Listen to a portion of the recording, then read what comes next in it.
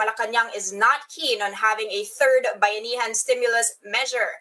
Palace spokesperson Harry Roque said there is a need to allow previous economic packages to run their course. Roque said the government's coffers might not be deep enough to fund another multi-billion peso revival measure. House Speaker Lord Allan Velasco and Marikina Representative Stella, Quimbo earlier filed House Bill 8031 or the Bayanihan to Arise as One Act or Bayanihan 3.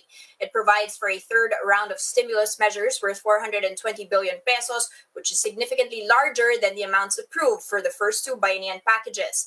Velasco says the measure enjoys the support of a majority of the House. He says the proposed law is backed by 162 out of about 300 members, including those belonging to the supermajority, the minority, and even the independent blocs.